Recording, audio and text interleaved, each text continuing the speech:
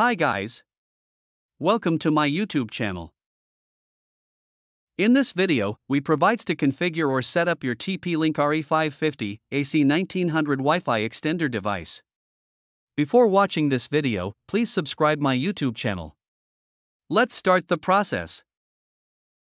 Plug the TP-Link RE550 AC1900 Wi-Fi extender and wireless router into an electrical outlet next to your router.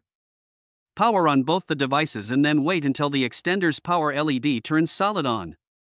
There are two ways to set up the extender via the WPS button or via a web browser. First, we perform to set up TP-Link RE550 via WPS button method. The TP-Link RE550 extender works with any standard wireless router.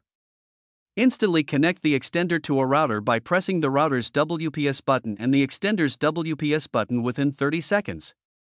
Alternatively, follow the quick setup instructions on the extender's web management page.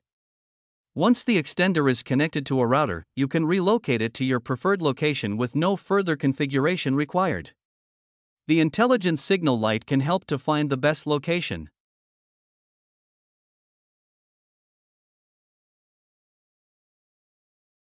Now, start the TP-Link RE550 AC1900 Wi-Fi extender setup process via web browser.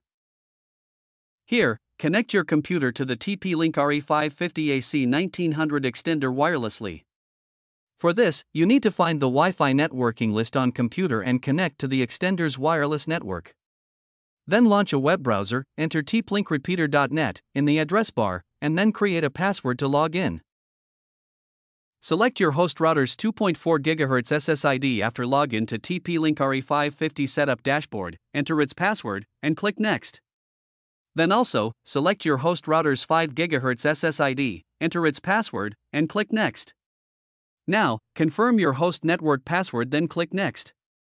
Follow on screen instructions to relocate your TP-Link extender for optimal Wi Fi coverage and performance, and then click Done. Then save the password on your notebook or mind and finish the setup. Connect your smart devices to the RE550 AC1900 extender wirelessly or via an Ethernet cable, then enjoy the internet. Thanks for watching. If you need any kind of information or assistance, then you can reach us.